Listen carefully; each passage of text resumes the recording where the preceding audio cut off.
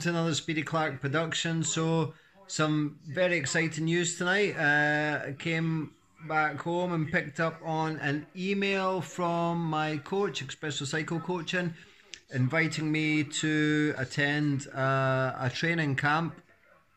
So it's like a bit of a, it's an invitation one only, like for some exclusive riders. So for elite road riders.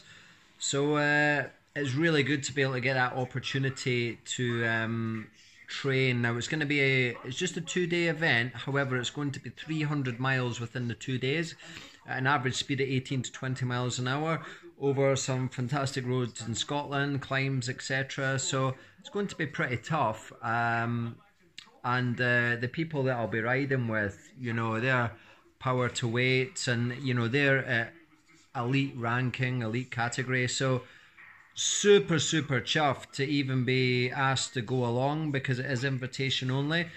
Um, so that is telling me that things are going in the, the right direction. Um, and it, it's just really great because obviously uh, last year even though I had a great start to the year got the John O'Groats to Land's End uh, relay record. I, I had that terrible horrible virus that laid me up and put me off the bike for nine weeks and off work for about five ish weeks, I think. And uh, and it took a long time to come back and recover for that. So even though I started riding the bike after nine weeks, um, nine weeks, and the virus eating away at me, and, and the, the weight that I lost, even though I'm quite lightweight anyway, but the, the real extreme weight I lost, you know, really stripped me down. So to be able to get back and then be asked to do something like that in relatively short period of time given the illness that I had. So you know I didn't start training properly again till October. So I've managed to get a good full winter and the weather hasn't been so great here. And as you know I was in Poland for 3 weeks with some quite extreme weather and snow so it was very difficult to train outdoors. It was mostly indoor training so to be able to get the opportunity and even asked to do this uh, is very, very good. So I'll see how it goes, see if I can attend the training camp. Certainly be very, very good and boost me for the rest um, of the season. So fantastic. Really looking forward to it. So I'll keep you posted on that one. Um, this is just a quick update film. Said I'd bring some more film content during the week. And so check out the up and coming films for the weekend. Now, I am on the lookout for a new bike. So, hmm, what to get? What to get? As you know, I'm a big fan of Giant. I absolutely love Giant bikes. For me, they're well made, they're lightweight, they, they feel really nice, geometry is great, uh, and importantly, because I purchase my bikes, um, they're great value for money. So I'm very, very happy with the Giant products. So I have been looking at the Giant Propel Ultegra Disc Aero. So there's two versions um, of the Ultegra. There's the the standard Ultegra disc with mechanical Ultegra group set.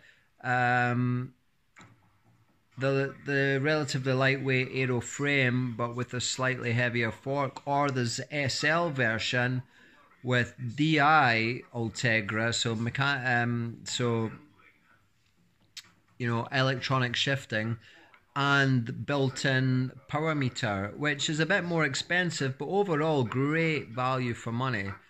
So I need to talk nicely with my wife. Um, or I could go back to the TCR. Now I did have the giant TCR. I loved the TCR. I did sell the giant TCR, not because there was anything wrong with it, but just because at that point in time I needed to do that and I wanted to make a little change to go to the Aero. But there was a bit of a delay.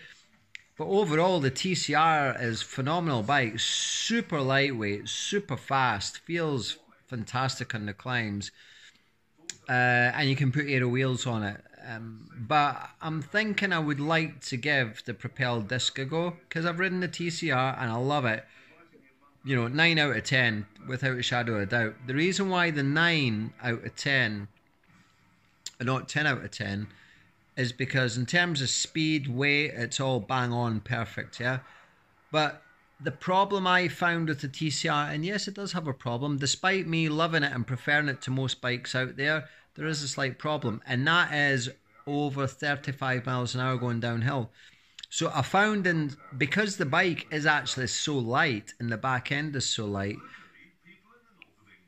it almost going downhill at about 60 kilometers an hour, hitting nearly 60 kilometers an hour with a little bit of a side or diagonal wind. If the wind's directly in front of you, it was kind of okay. If it's directly behind you, it's okay. But to a slight side window, you know, with yaw angles, etc., I was finding that the back end was whoa. There was like a lot of bufferton, and I was having to brake and actually slow the bike down because it felt so unstable. It was like it was like a mega speed wobble. It was like having a major speed wobble, um, which was actually pretty scary.